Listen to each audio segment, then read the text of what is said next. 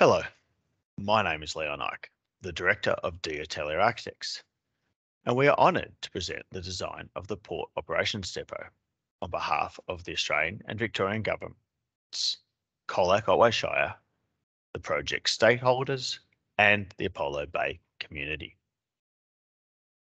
In preparing the design, we acknowledge the Eastern Maar as the traditional custodians of the land and pay our respects to elders past, present, and emerging. This presentation will explain how the Port Operations Depot sits within the Apollo Bay Harbour Development Plan, highlight design context, discuss the building siting, present the building's plan, highlight development plan key views and building envelopes, provide overall and detailed views of the proposed building design, and present options for the internal finishes of the amenity areas for public consideration. The design for the Port Operations Building is developed from and consistent with the Apollo Bay Harbour Development Plan.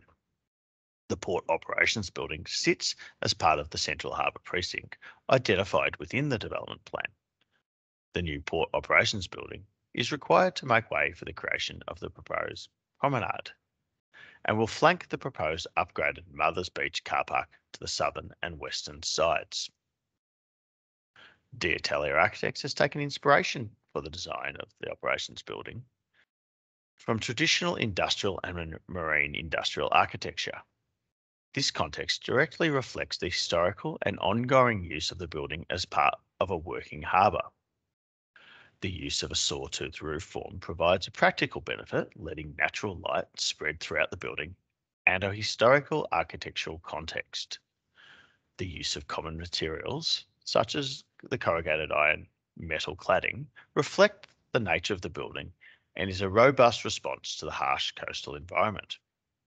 The buildings include simple, easily recognisable forms. The Gulf maintenance shed is considered as a simple pitched roof not dissimilar to a traditional boat shed. Building elements such as extended eaves and feature structure articulate the building while providing orientation and comprehension. The use of colour within the public zones is intended to be inviting and provide warmth. The public areas of the operations building are proposed to the eastern end and will bookend the proposed promenade and upgraded Fisherman's Co-op. The depot area will be accessed directly from the Trafalgar Street, operating as a one-way vehicle pathway exiting into the proposed upgraded car park. The new golf maintenance shed is located to the rear of the depot building, running parallel to the adjacent fairway, opening out onto the golf course with a service access through the rear depot storage area. The southwestern corner of the proposed port operations building has been set back from the southern and western boundaries to address the sightlines identified by the Apollo Bay Golf Club. The Port Operations Building is made up of three distinct areas. The Port Depot, shown in grey, servicing the operational needs of the port. The Harbour Master's Office and Port Users Facilities, shown in green, are all located on ground level. And the public area amenities area, shown in blue. The public amenities located to the east end of the building are access, accessed from the forecourt created between the proposed building and Trafalgar Street. The building setback from Trafalgar Street has been increased from that proposed by the development plan, providing better connections to the upgraded car park and the golf course. The proposed public amenities consist of a unisex universal toilet and shower. This area will also contain a nappy change bench and will also serve as a family-friendly bathroom and change room. A unisex public amenities featuring seven toilets, including two ambulant and two ambulant shower change room cubicles. The unisex toilet will have a shared open central basin area that will be visible from the proposed forecourt for passive security and include two exits. An outdoor beach shower is also proposed. The views of the depot operations building presented here replicate those identified as critical within the development plan. The smaller inset views are those presented within the plan and are provided to assist in the understanding and comprehension of the design. We have prepared a comparison of the building to the approved building envelopes outlined within the plan. The images presented include an overlay demonstrating how the building sits within this approved envelope. The yellow portion of this envelope is based on the building footprints and the six and eight metre heights identified within the development plan. The red portion of the envelope indicates a one metre extension to accommodate the roof articulation specified by the development plan.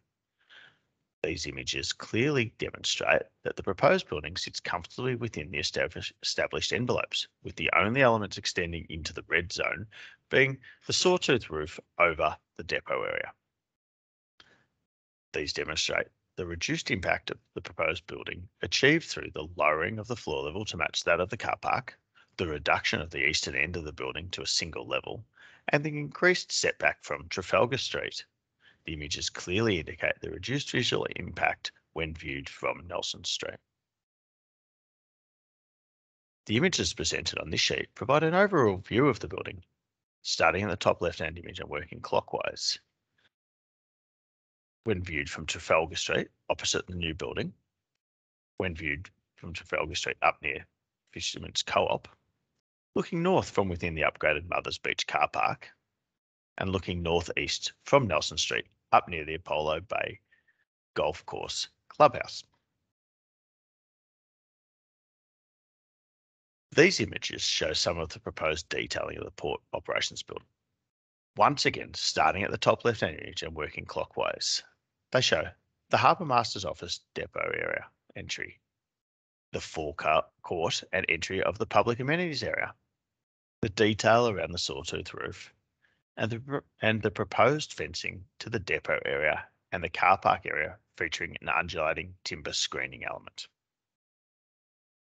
Finally, as part of this presentation, we are providing an opportunity to the public to let us know your opinion of the preferred internal finishes for the public amenities area these images represent the internal partition color options and wall tiling proposed. We encourage you to go on the Apollo Bay Harbour Development website and complete the survey and provide your opinion as to your preferred option. We would like to thank you for your interest in the Apollo Bay Harbour redevelopment and in particular the design of the Port Operations Depot prepared by D'Atelier Architects.